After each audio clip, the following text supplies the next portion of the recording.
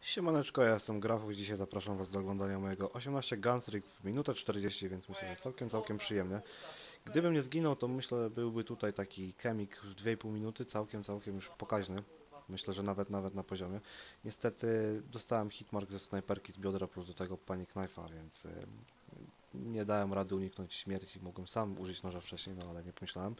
Oczywiście wie, wiele zawdzięczam tutaj swoim wrogom, którzy oddawali mnóstwo, mnóstwo naprawdę strzałów ostrzegawczych w niebo, dzięki czemu nie zginąłem. Ale dobra, przejdźmy do tematu, a dzisiaj, e, tak jak obiecałem, powiem o tym, e, czy odbędzie się mój livestream, czy się nie odbędzie.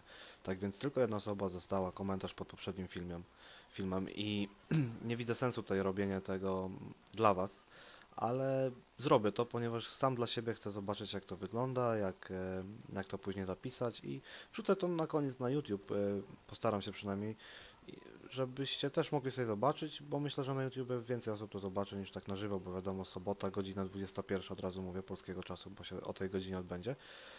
Mm, może być zajętych różnymi swoimi sprawami, więc tutaj też się jakoś za bardzo nie dziwię. Ale żeby Was oczywiście zachęcić do oglądania tego, to powiem Wam, że zostaną na, na tym streamie podane dwie informacje, e, z których nie dowiecie się, znaczy zobaczycie je w przyszłości na moim kanale, ale byście wiedzieli już je powiedzmy szybciej.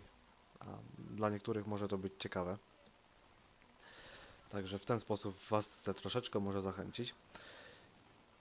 I dobra, widzimy się wtedy o 21 z tymi, którymi, z, którzy zajdą tutaj do mnie.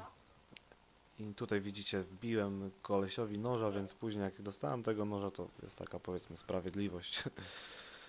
Na tej kamerce właśnie to jest fajnie widać, że pokazują się hitmarki ze strzału z biodra i jeszcze nożyk. Ciekawie. Bardzo fajny zestaw. Także tutaj widzicie mój już końcowy wynik w tym meczu. Ja się z wami żegnam, cześć.